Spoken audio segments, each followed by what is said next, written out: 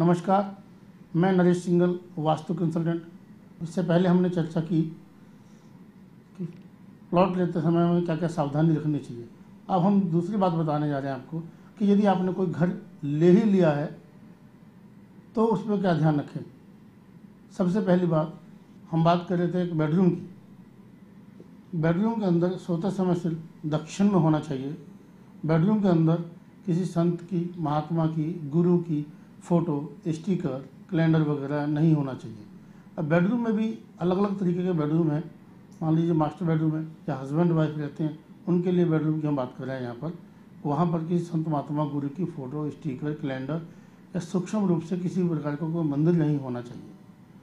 आजकल जो है, अगर हम महानगरों की बात करें, जगह कम होती है। जो बेड है, वो बॉक्स वाले होते हैं।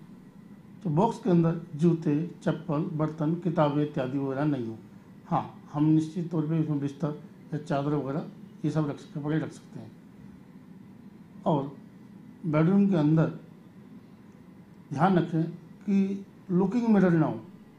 यदि है भी, जैसे आपके ड्रेसिंग टेबल पर हो सकता है, आपका वार्डरोब में हो सकता है, या आपके बेड पे भी हो सकता है तो वो चीज़ों में ध्यान रखना पड़ेगा कि हमें सोते समय बॉडी का कोई भी पार्ट उनमें रिफ्लेक्ट नहीं होना चाहिए। यदि ऐसा है तो कहते हैं कैंसर तक होने की संभावना बढ़ जाती है। बॉडी का जो भी पार्ट, लुकिंग मिरर में दिखाई दे रहा होगा, वहाँ पर आपको निश्चित तौर पर कम या ज़्यादा रोग ज़रूर लग जाएँगे।